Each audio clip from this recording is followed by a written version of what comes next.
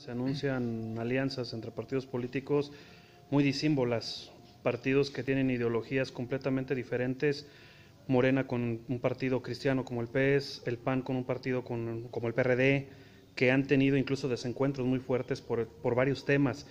¿No son alianzas contra natura? ¿Qué confianza puede tener el ciudadano cuando partidos con ideologías tan radicalmente opuestas se juntan para una elección?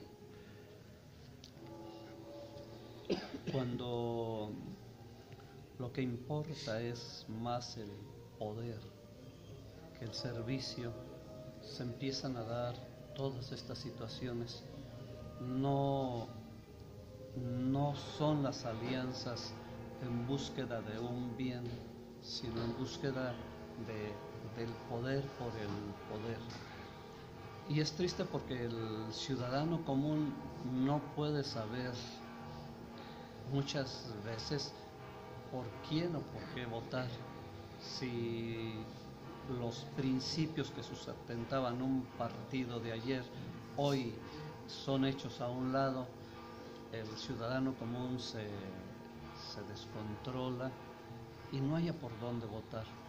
Pero en el fondo está esto mismo que nos dice San Juan, no queremos el camino recto, queremos la, la montaña del, poder, del orgullo, de la, de la ambición, no buscamos el servicio. Eh, la invitación sería, pues a nivel más local, pues que quien quiera asumir el poder sea con la intención de, de servir, con la intención de ayudar a la ciudadanía y no tanto del servirse de, del poder, no tanto de, de buscar a veces una forma de tener un sueldo seguro y, y, no tanto el servir a la comunidad. ¿Es momento de volver a ver a los, este, a los ciudadanos independientes que también están buscando un cargo? Pues nada más que los ciudadanos independientes también no vemos tan claro por dónde, por dónde, por dónde caminan.